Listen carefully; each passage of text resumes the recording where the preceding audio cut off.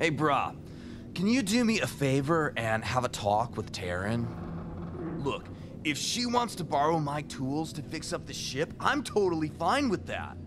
However, it's not exactly easy to get Nikith hair out of an industrial power drill. How it got there in the first place, I don't even know. But I kinda wanna know.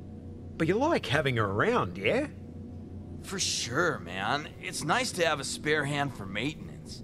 Also, I don't have to climb deep into some tiny vent full of drudge turds anymore to fix a single fucking screw. Man, that was annoying. Are you getting lazy on me? Lazy's got nothing to do with it. I'd like to see you crawl through the shafts of the gut like this.